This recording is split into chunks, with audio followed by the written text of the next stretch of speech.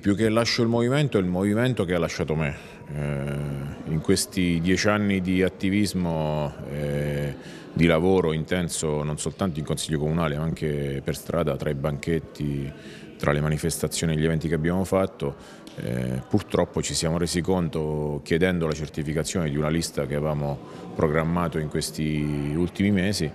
eh, che è il movimento che non vuole noi, purtroppo. E quindi a questo punto abbiamo deciso di, di uscire noi prima che, eh, che ci abbandoni con, con un'espulsione, visto che abbiamo saputo di segnalazioni ai propri viri eh, da parte di, probabilmente di persone che non, non intendevano e non avevano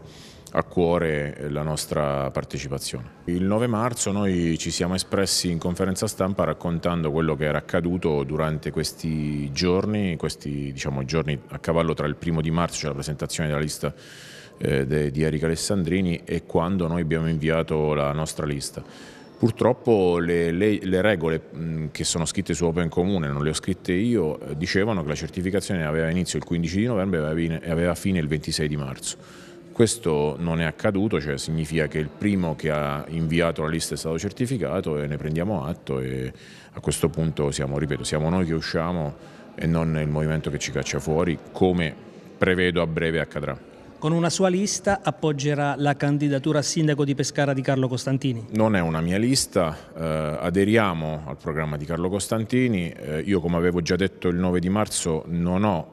eh, fatto una lista civica, eh, ma aderisco a un progetto che ritengo validissimo anche perché addirittura un nostro consigliere regionale Riccardo Mercante è stato il promotore della, lista, della, della legge per l'unificazione dei comuni Pescara, Montesilvano e Spoltore